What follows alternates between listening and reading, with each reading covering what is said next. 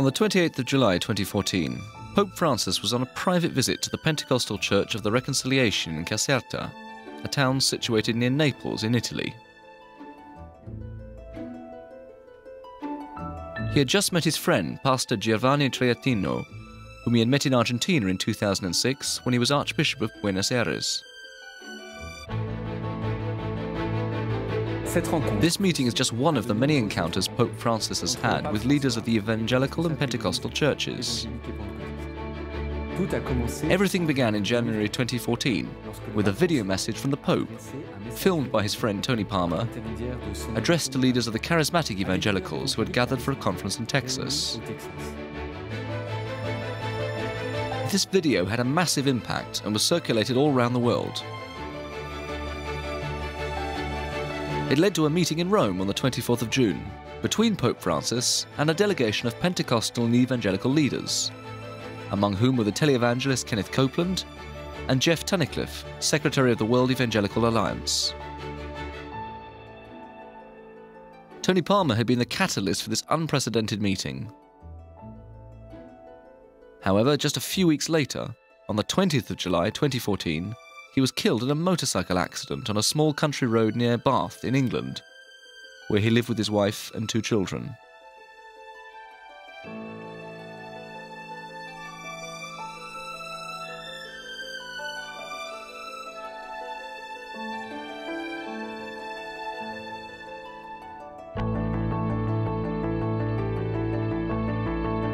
In this film, we should like to pay tribute to this man, who was a builder of bridges between our churches. This agreement to agree with our brothers and sisters that we are saved by grace through faith to good works. And I believe that's something that needs to be fixed. There's a challenge for you. His legacy for us is his desire to overcome the obstacles that exist between Christian denominations, particularly between the Catholic Church and the evangelical and Pentecostal churches.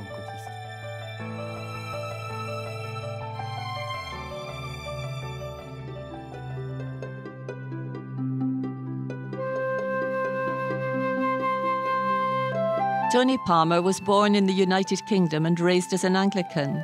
At the age of 10, he emigrated with his family to South Africa. This was where he met his future wife, Emiliana, of Italian Catholic origins. They would then both be converted to Jesus Christ together in a Pentecostal church. And since that day, something happened to myself and Tony individually.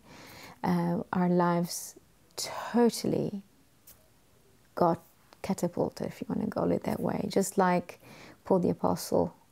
Um, in the road of Damascus. It, it was just an amazing conversion. Um, I come from a, quite a wealthy family, so I thought I didn't need much. Um, wonderful family, wonderful father and mother, and wonderful sister. But there and then, our life just totally changed. It was a miracle. And um, then we needed to understand what was going on with us. By doing so, we started studying the Word, studying the Bible and we went to Bible College Seminary together, and then the Lord called us, both of us, uh, in full time ministry. So we left everything careers, wealth, everything and we said, okay, we're going to live for you, Jesus. What do you want us to do? And that's when we left everything and we started this pilgrimage of full time missionaries in South Africa.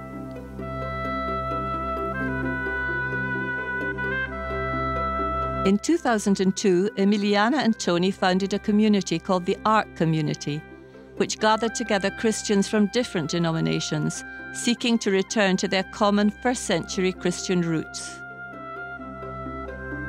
Tony was ordained as a priest and then as a bishop of the Communion of Evangelical Episcopalian Churches. Thanks to his close relations with the Catholic Charismatic Renewal, he met Cardinal Bergoglio, the future Pope Francis, in Buenos Aires in 2006. He talked to him about his family life. Tony started talking about the family, how uh, myself and the children, because we both have two children, Daniela and Gabriela, which they both are um, Catholics like me, we couldn't take communion together. And that just totally broke Father Mario Bergoglio's heart. And he just embraced Tony physically and said, You know, your pain is my pain.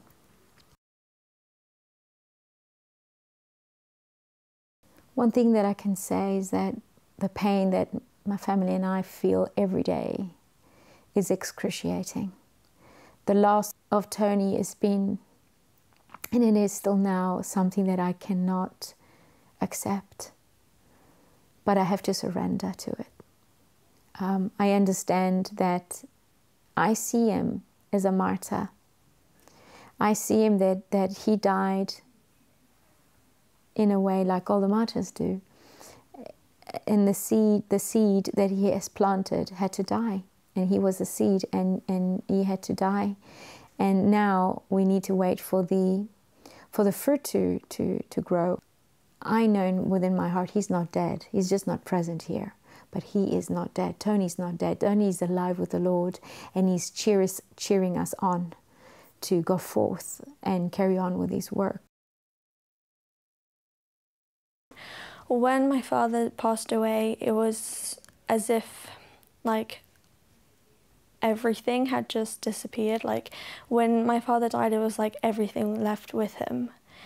And I honestly felt like there was no point in like staying. Um, so it was really hard for me. But I can say that this has brought me closer to God in like a different way. So my heart literally like craves like I thirst for Christ way more than before. Also because I know now that the closer I am to Christ, the closer I am to my dad. And because my dad used to live like Christ, that's what being Christian is, is being Christ-like. Now that he's passed away, it just made me realize how important that is and how he always lived a full life. And that's what I want to do. Before my father's death, for about two years before that, I was a very strong atheist. Um, I was an atheist in the sense that I didn't believe in God. I wasn't angry with God or I wasn't angry with religion. I just thought that it didn't make sense. My conversion to Christianity was a slow process, really. It took about a month where I started to understand that there is a deeper aspect of human experience. The day my father died, before I knew he had actually passed away, I then started to feel the urge to pray. Not because I ran out of options, but because I felt that there is something in me saying, just pray. And I started praying, and I felt this, this uh, overwhelming presence.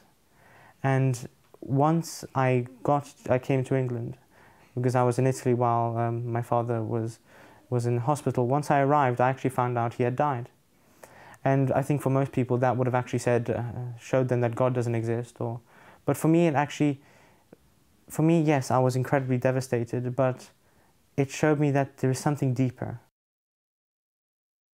Tony's, for me, Tony's main legacy is about the ministry of reconciliation at every level, reconciling us to the Father, us to ourselves, but also us to the world and the different branches of the body of Christ to one another so that we may be one as Jesus and his Father are one.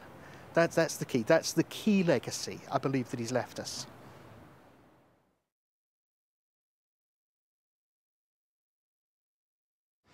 When I met Tony Palmer in May 2014 and he told me uh, his story, he said that there had been one point where he was considering converting to Catholicism. Uh, he was at the time, he had been made a bishop, in fact, in, in his communion of, of evangelical episcopal churches. But he was finding the strain, the pressure of living on the frontier too great. But Cardinal Bergoglio dissuaded him. He said, No, you are better being where you are, on the frontier, uh, you know, who is living, if you like, both traditions with integrity. And so he encouraged him really to stay the same, to divest himself for the sake of mission. Uh, he was doing the work of the Holy Spirit in bringing together these two different traditions, not at an academic level, but in his own life, in his own family, in his own marriage, uh, and in his own vocation.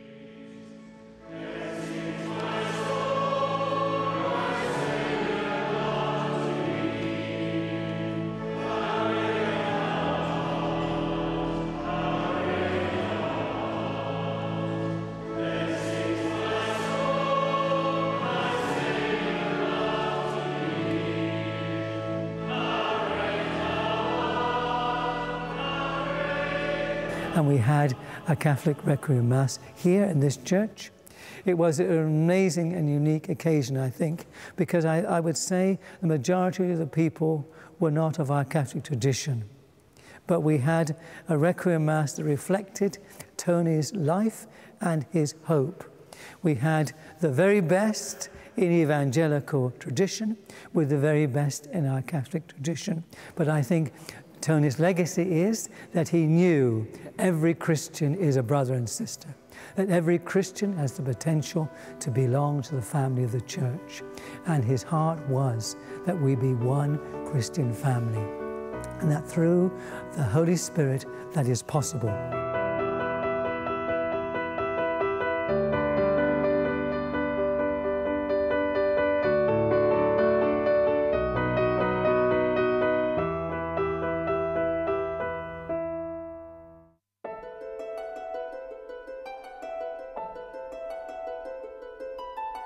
Tony Palmer a été Tony Palmer was a pioneer, a builder of bridges, a man who had a heart for spreading the virus of unity, as he wrote to the Net for God team just a few days before his death. encore quelques jours avant sa mort. How can we deepen these ties between the historic churches, the Orthodox, Catholic, Anglican, Lutheran, and other Reformed churches, and the new churches which have appeared more recently, the Evangelicals, Pentecostals, or Charismatics? Eh Together, we are going to try to understand how to create a dialogue between these older churches and these newer ones, who currently represent a third of all Christians and are growing rapidly, particularly in the Southern Hemisphere. To go deeper into these questions, we went to meet some pastors, theologians, and church leaders who are involved in ecumenical dialogue.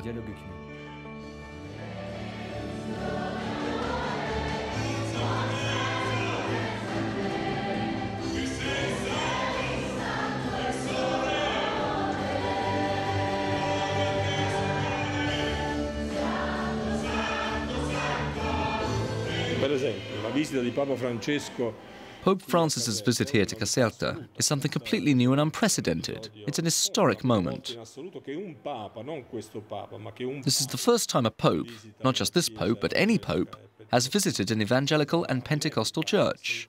A completely new thing. It's something that changes the cultural climate in a country like Italy. come l'Italia, no?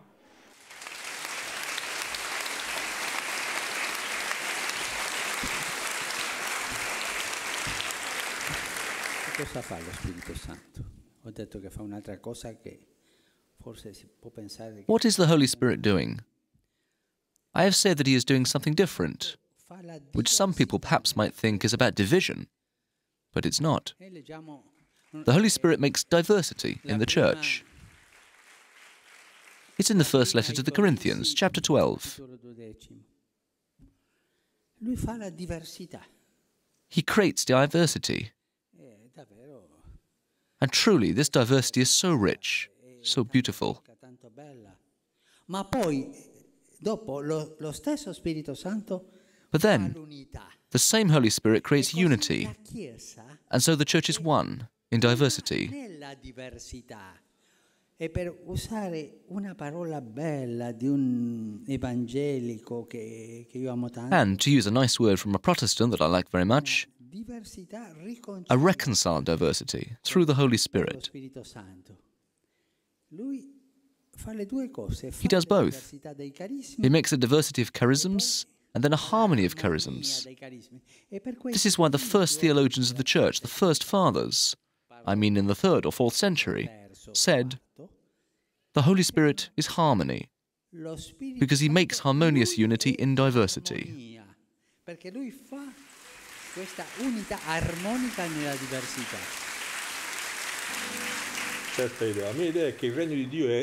My idea is that the kingdom of God is about relationship, because God is relationship.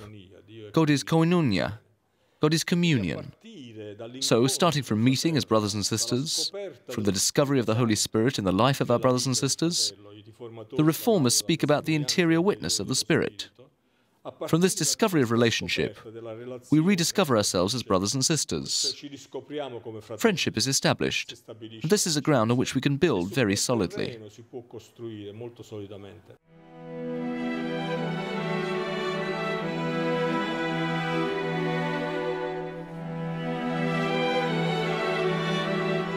During this meeting in Caserta, Pope Francis asked for forgiveness in the name of Catholics for the persecutions of Pentecostals in the years 1920 to 1930 under the Mussolini regime in Italy.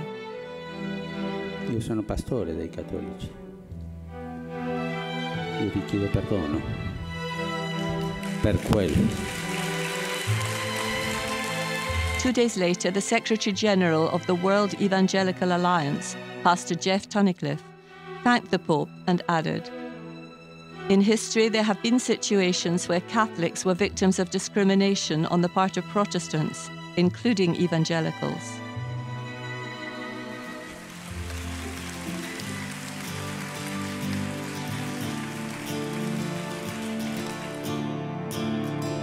The relationships of the Pope with evangelical and Pentecostal pastors, whether friendships formed in Argentina or more recently, are characteristic of what we might term a theology of meeting.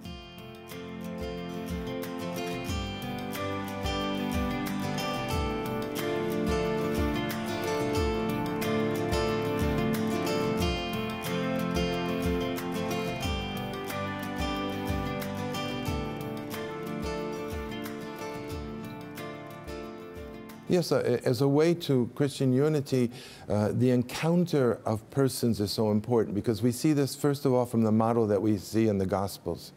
Jesus encountered people.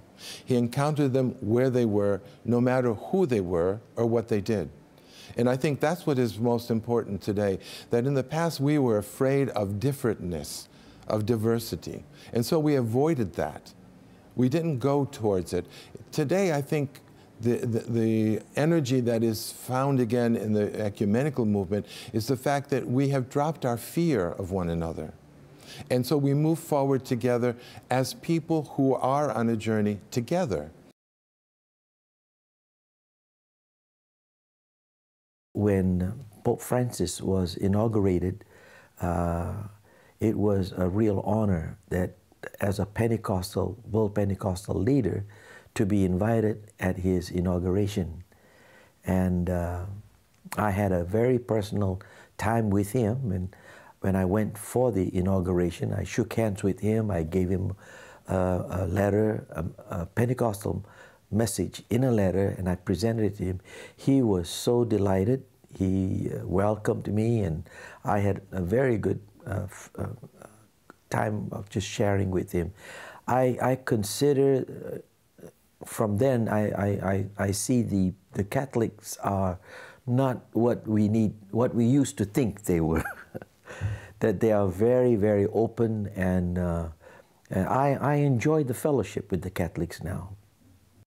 Um, I, I, think that um, it is very important that we return to the understanding of what baptism means for us. Because there we are brothers and sisters in Christ. And we know that sometimes we have good brothers and bad brothers, good sisters and bad sisters, but we still are brothers and sisters in Christ. And I think that's where we have this encounter where Pope Francis, for example, wants to meet people where they are. Whether they're good or bad brothers or sisters, they are still my brother and sister. And that is what needs to be healed by love and the joy of the gospel. Catholics, Orthodox, and Evangelicals seem different in every way. What is it that unites or separates them today? What are the challenges we face? What brings them together? The first thing is that at the heart of Protestantism, the evangelicals are the people who all believe in the Father, Son, and Holy Spirit. In Jesus Christ, true God and true man, crucified for the sins of the world, raised on the third day, etc. Basically, the faith, which is the faith of the church, the faith of the first councils. This is the foundation of all the evangelicals, and it's a shared foundation with Catholicism and Orthodoxy. So I would say that theologically there's a common core, which seems obvious to me, and besides which our differences seem almost anecdotal. They're not without theological importance, but in an unbelieving world, that which unites us seems to me to be huge next to that which divides us. The second point is spirituality. This seeking, basically, for communion with God. This emphasis that is put on prayer and on sanctification, on the experience of a relationship with God. I think the Catholic Church, throughout its history of spirituality and mysticism in the evangelical world, even if the language they use is not the same, in fact have points in common that are very close, so I believe. And then the third point, which brings us together today, perhaps more so than in the past, is that we are in a society where ethical questions play an important role. And I often have the impression that in society's ethical questions, the ethics discussed in major political debates, etc., evangelicals and Catholics have extremely similar positions.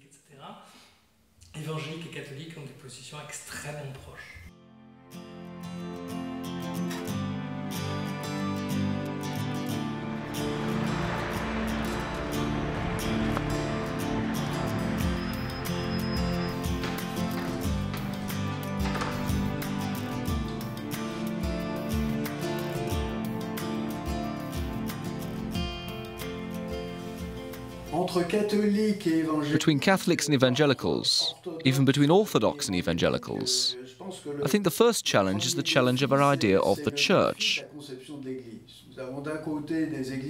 On the one side, we have churches which are structured, which have an episcopal structure. These are churches which have an internationally and nationally visible structure. Une structure de, de visibilité euh, internationale, nationale. While for the most part, the evangelical world lives in communities of a congregational nature, with a multitude of local communities and neighborhoods which are totally autonomous. euh, euh, qui sont pleinement autonomes. Donc ça, c'est le So this is the first challenge. Qu'est-ce que le Christ What does Christ want? Il est venu pour He came to gather all the scattered children of God. Does he only want them to gather in a spiritual way, or does he want them to gather more visibly? les rassembler de manière visible I think that the determining factor for me in the Chemin Neuf community is the testimony of fraternity. This testimony of fraternity has led me perhaps to a greater, a more radical extent than I imagined. And this happened in a very simple way.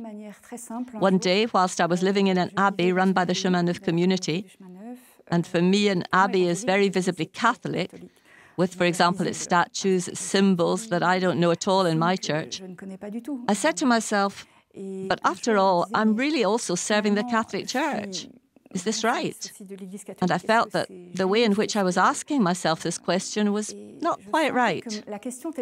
So I went to pray and I really asked the Lord for a word. The moment I went into that oratory to pray, I was greeted by a word during evening prayer, and it was, You shall love the Lord your God with all your heart and with all your soul and with all your mind, and your neighbor as yourself. And this word struck me, stopped me in my tracks. It was saying to me, But this is just what I'm asking you. And I also heard, You shall love your neighbor as yourself, as you shall love the church of the other as you love your own church. And that for me was not at all obvious. I know, of course, that I was called to love the other churches, but to love the other churches as I loved my own, for me that was new. And that was a big shift, which is still big today. But I believe it's one that's still guiding my life today. Because when all's said and done, this means you shall be as concerned about the future of the other churches as you are concerned about the future of your own church.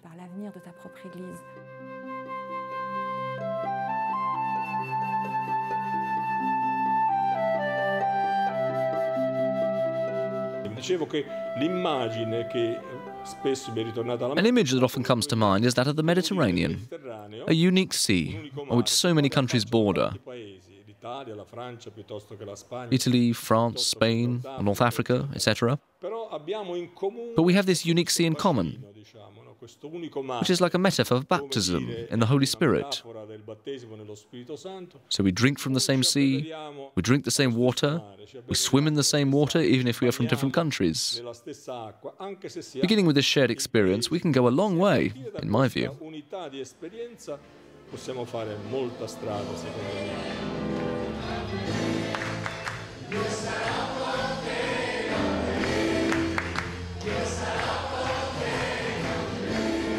Pense que l'un des, des enjeux du dialogue entre euh, I think that one of the issues of dialogue between evangelicals, Pentecostals especially, and Orthodox euh, le- for whom the theology of the Holy Spirit is very important, saint tient une place importante, c'est- c'est is to try, beyond particular experiences and beyond vocabulary, les expériences singulières to manage to understand that it is the same divine person who is at work in each of us. à, à comprendre que euh, bah, c'est- c'est c'est la même personne divine qui est à l'œuvre en chacun d'entre nous et que cet esprit And that this spirit which blows where it will, and which sparked this movement, porté le mouvement œcuménique is also the one who brought us this ecumenical movement and who wants us to be able to say together, Jesus Christ is Lord. Jésus-Christ est Seigneur. No, I think that's the force that the world needs today, is the energy of the risen Christ that brings new life, new hope, new energy to all of creation.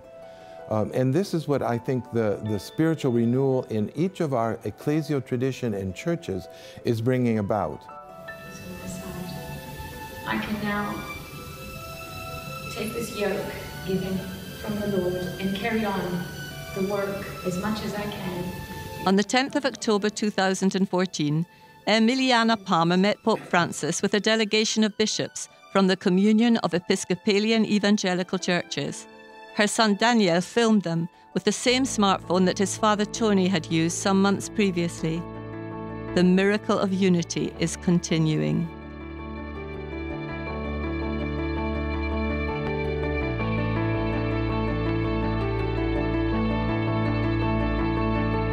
The Word of God for the month is in the letter of St. Paul to the Ephesians, chapter 4, verses 3 to 6.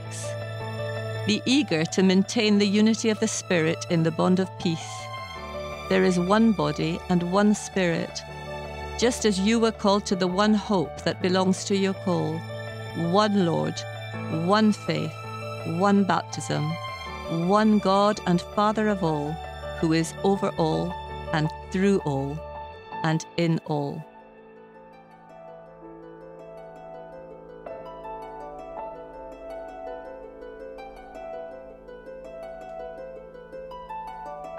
We thank you, Lord, for your spirit of unity, which continues to be at work between our churches. We thank you for all the men and women who have given their lives to be prophets for unity. Grant us, Father, being filled with your hope, to be builders of bridges here where we are, that we may meet in the other of a different denomination this brother, this sister, who you are giving us to love.